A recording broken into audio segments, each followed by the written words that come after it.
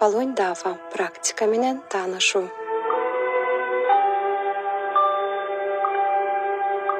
Полонь дафа ошондой эле фалонгун катарында белгилүү болгон руханий практика менен бүткүл дүйнө жүзүндө машыгышат бир миң тогуз жүз токсон экинчи жылы кытайда мырза лихунжи тарабынан негизделгенден кийин эсептөөлөр боюнча бир миң тогуз жүз токсон тогузунчу жылга карата фалонь дафа менен жүз миллион адам машыккан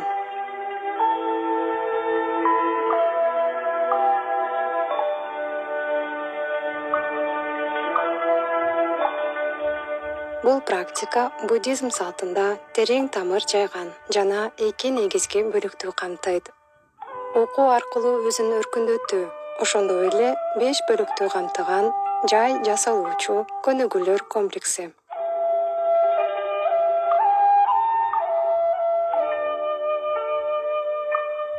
Бүгүнкү күндө полонь дафа менен жүздөн ашык өлкөдө жана аймактарда машыгышат. Ал эми урматтуу лихунжи мырзанын окуулары кырктан ашык тилге которулган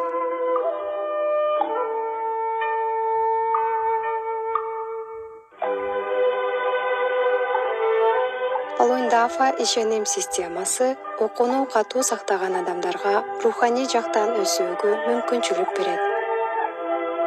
Көпчүлүккө белгилүү болгон өркүндөтүү деген тажрыйбалар салттуу кытай маданиятынын ажырагыс бөлүгү болуп саналышат.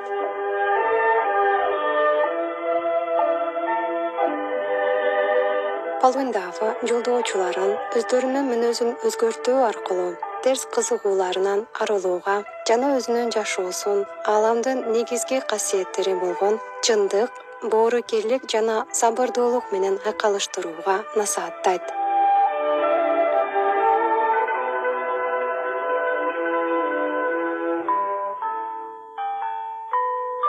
Полонь дафа көнүгүүлөр комплексинин курамы туруп жасаган төрт көнүгүүдөн жана медитациядан турат аларды үйрөнүү жеңил жана жеке күн тартипке оңой эле ылайыктаса болот.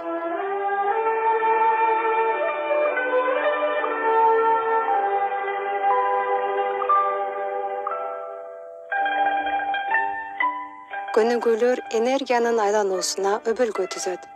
Организмдеги бөгөттөрдү ачат жана кирлерди жок кылат полонь дафа менен машыккан адамдар көп учурда бул тажрыйба алардын жашоосун өзгөрткөнүн айтышат. Көпчүлүк адамдар ден соолуктары жакшырганын байкашат. Ошону менен бирге күчтүү энергияга ээ болушат. Акыл эс тунук болуп стресс азаят. Мындай өзгөрүүлөр коомдогу мамилелердин жакшыруусу аркылуу да сырттан көрүнүп турат. Эң маанилүүсү көпчүлүк адамдар өтө баалуу рухий жолду таптым деп сезишет.